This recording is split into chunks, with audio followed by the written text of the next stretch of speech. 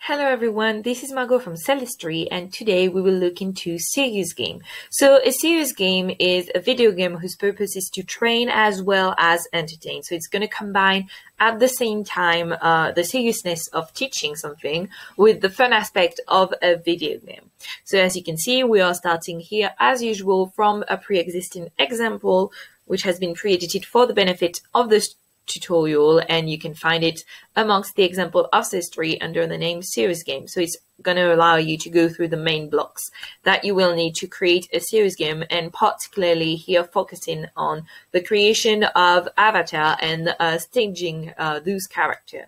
So staging of avatar integrate three main concepts which are character identity which you'll create through the modules on the side then there's the scene setting, which uh, you can do via the background block, which you have in orange, and also obviously the character's dialogue, which can be written through the dialogue blocks that you have in blue. So first we can look into giving an identity to your character in your serious game. So to do so and to create your character, you need to go to the module menu, which is on the side right here in white, and then go into module setting and click on character. Uh, you need to know that they will be shared for this module only, so it is necessary to add your character to each module each time. So if, for example, we have two modules experience and background. And as you can see, once you're in character, um, you can add your character and you have several entry that we can look into right now. First of all, the name where you can name your character. So it is important to give it a simple but representing enough name so that you'll be able to identify it when then you're gonna uh, make them interact in the dialog block because it is the name that's gonna appear uh, in uh, the dialog block. So for example, we have student angry boy here. And as you can see, the character is indeed angry. You can choose their entrance, whether they arrive from the right, the left, or So that's more for the presentation of it. And then you can also obviously in image download the figure that will represent your character by clicking on the little arrow right here. And it's going to open your file uh, in the Celestory app and you can just add your character from uh, photos that will have been pre-downloaded uh, within your files and uh, you'll also have the possibility to uh, change, for example, the dialogue appearance. That means to say the dialogue box if you want to customize it or the text style. Then uh, we can go into the scene setting and uh, each module of each project has a background by default. So to create and uh, to set in place your scene, you'll need a uh, background block, which you have in orange right here. So when you double click on it, you can see that you can download your background image right here the same way as you've downloaded your character images. And then you can go into show advanced option and you really need to make sure that you choose the position of your image so that the high and low edges of uh, the lower part of your image adapts to the image on screen.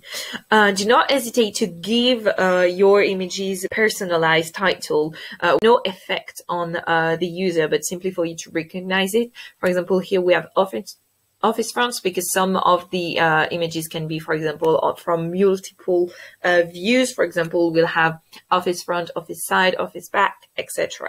And then you can create your dial blocks to make uh, your characters interact with each other. So when you open the uh, dial block, you will have the possibility to select the character that you want to speak. So here, for example, is woman 10 front happy. But when you click on this menu, you'll have the selection of all the characters that you've uh, created. And you can also as well uh, create new characters from the dialog block by simply selecting create new character. And to add another character in line, you can simply just press entry in the, uh, the bubbles and it will create a new characters line and then choose the persona the and then choose the character that you want to be interacting. For So example here we can change to uh, woman 6 instead of woman 10 and so that will make uh, the two women interact with each other and then you'll just have to type um, whichever line you want them to say. And uh, you can also as well obviously go into the edit block style from uh, the dialog block and then here choose